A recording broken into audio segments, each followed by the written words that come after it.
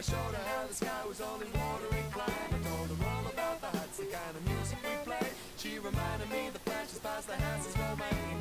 I told her about the spot where all the oceans collide. She said that you can have that with me every night. So set in motion my imagination mind.